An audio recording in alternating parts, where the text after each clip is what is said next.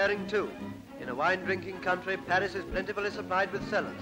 But in addition to these, the air raid precautions of the formerly gay capital include trench digging on a grand scale.